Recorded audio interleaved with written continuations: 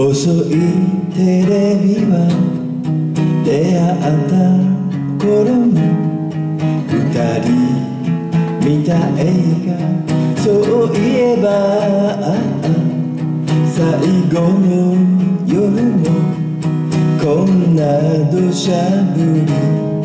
涙雨が隠し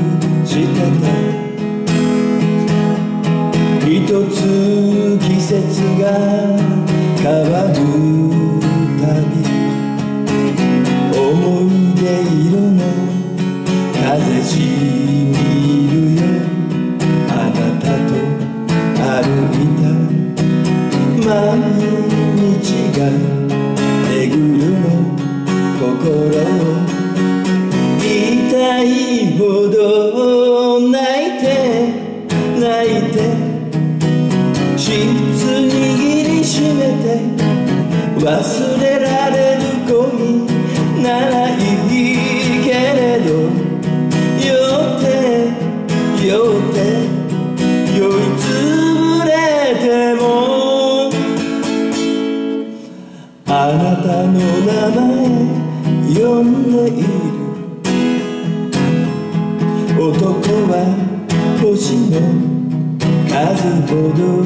いるとみんな目覚めてくれたけど一枚きりの一緒の写真破る勇気さえなくて誰かと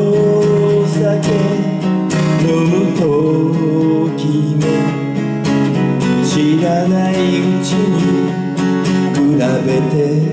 いるわグラスを持つ仕草さえあなたと違うと許さない抱いて抱いてお願いもう一度あなた以外の誰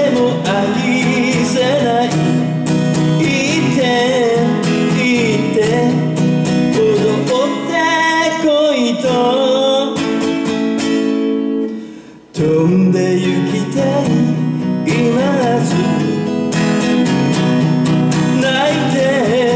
泣いて。シーツ握りしめて忘れられる恋。